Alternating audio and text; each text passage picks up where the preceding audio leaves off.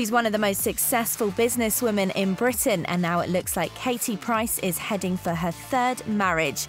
It follows reports boyfriend Argentinian model Leandro Penna had presented her with a sparkly ring. In a recent interview, she denied the rumours, though. Let the reports be reports, because I'm not revealing anything for anyone to write anything. All I'm saying is I'm happy, and that's all I'm saying.